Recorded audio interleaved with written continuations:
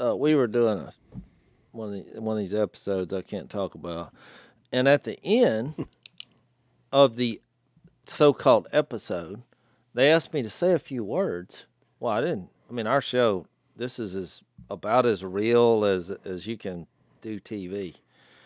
And uh, I said, well, well, why didn't you give me a at least a little heads up here? Because they wanted me to speak in front of a crowd of real people for the show. Well, I figured you could say a few words.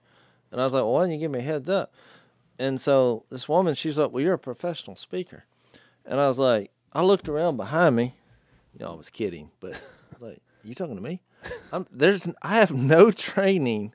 She's like, well, you speak all over the place. I was like, yeah, that's what you've labeled professional. I'm telling you, as the Holy Spirit of God, I got one speech, and it centers around Jesus. Now I'm going to give the speech because then I quoted First Peter three fifteen. I thought this was an indirect way to tell her why I speak. I'm not very smart. The Apostle I'm not Paul very said the educated. same thing. I, exactly. I was like, but what? You're, she's like, yeah, but I've I've listened to your speeches.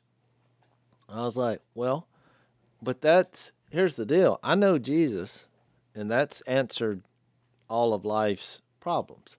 So therefore, I'm qualified to address all issues because Jesus did address all possible scenarios and issues in life, and he, then somebody put them in red letters where they're readily available. I then have the Holy Spirit. I said because deep down, my biggest fear in life is to speak publicly.